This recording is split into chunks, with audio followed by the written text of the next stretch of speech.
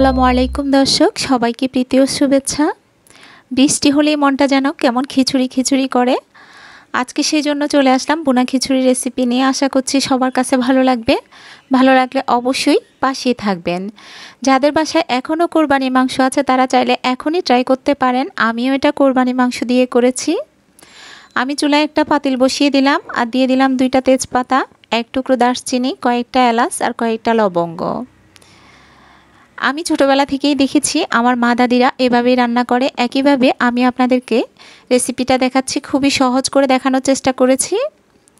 পেঁয়াজটা দিয়ে এরপরে আমি দিয়ে দিচ্ছি আদা রসুনের পেস্ট আমি এখানে রসুন এক চা চামচ দিলাম, আদা দুই চা চামচ দিলাম। এবার এটাকে ভালো করে কষিয়ে নিতে হবে যেন এটাতে কোনো গন্ধ না থাকে।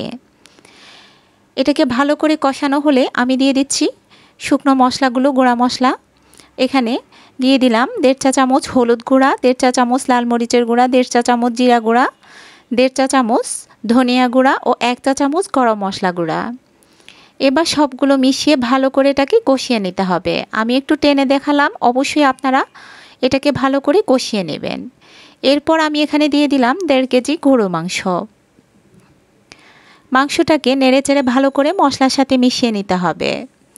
এরপর একটা ঢাকনা দিয়ে এটাকে ডেকে রান্না করব। এটা থেকে অনেকটা পানি বের বেরিয়ে আসবে। দেখুন মাংসটা অনেকটা পানি ছাড়লো। এবার এটাকে ঢাকনা দিয়ে আমি ২০ মিনিট মতো রান্না করে নেব। দেখুন মাঝখানে আমি আরও কয়েকবার নেড়ে চেড়ে দিলাম। মাংসটা ভালো করে সেদ্ধ হয় নাই, সেজন্য এটাকে আমি পানি দিয়ে আবার রান্না করে নেব।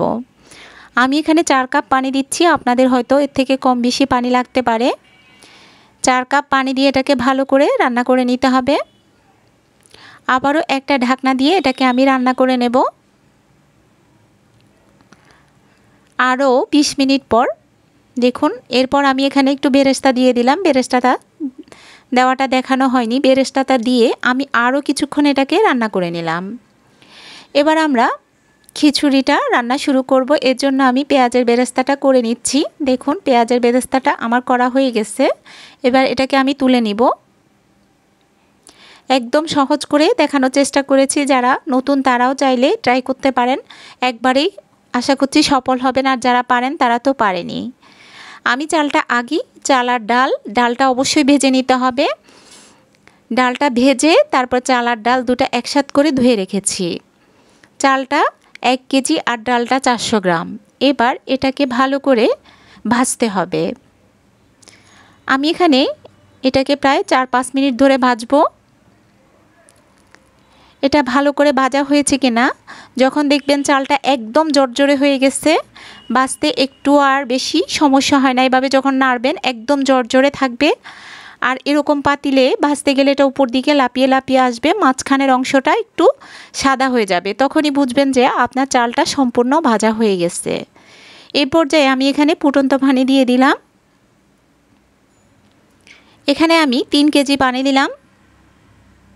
এরপর এখানে দিয়ে দিচ্ছি আদা, রসুন এবং অন্য মশলাগুলো। খিচুড়িতে অবশ্যই একটু মশলা বেশি দিতে হয়, যেহেতু আমরা ডাল দিয়ে রান্না করি। এরপর দিয়ে দিচ্ছি লবণ, হাফ চা চামচ করে গরম মশলা, ধনিয়া গুঁড়া, জিরা গুঁড়া, লাল মরিচের গুঁড়া। লাল মরিচের গুঁড়াটা আমি একটু বাড়িয়ে দিলাম। এবার ভালো করে এগুলো মিশিয়ে নিচ্ছি।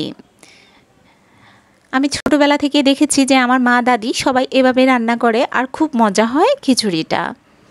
আশা করছি আপনারাও একবার ট্রাই করে দেখবেন। অনেক ভালো হবে, খুব সহজভাবে দেখানোর চেষ্টা করেছি।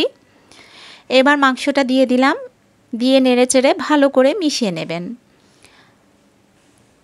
সম্পূর্ণ মাংসটা অবশ্যই দিয়ে দিতে হবে। আমি এখানে সম্পূর্ণ মাংসটাই দিয়ে দিলাম।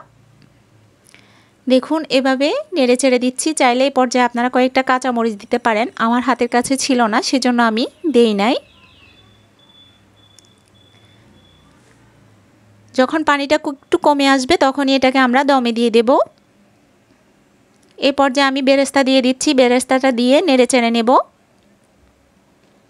এবার এটাকে আমি চুলাটা বন্ধ করে দমে দিয়ে দিচ্ছি। এভাবে 10 মিনিট দমে থাকলে এটা হয়ে যাবে। 10 মিনিট পর দেখুন, একটু ঝোল নাই আপনাদেরকে আমি একটু নেড়ে দেখাচ্ছি। এবার এটাকে নেড়ে চেড়ে আবার আমি মিশিয়ে নেব। দেখুন চার পাশ থেকে টেনে মাঝখানে এভাবে রেখে দিলাম, হয়ে গেল। আশা করছি সবার কাছে ভালো লাগবে। ভালো লাগলে অবশ্যই আমার সাথেই থাকবেন। আল্লাহ হাফেজ।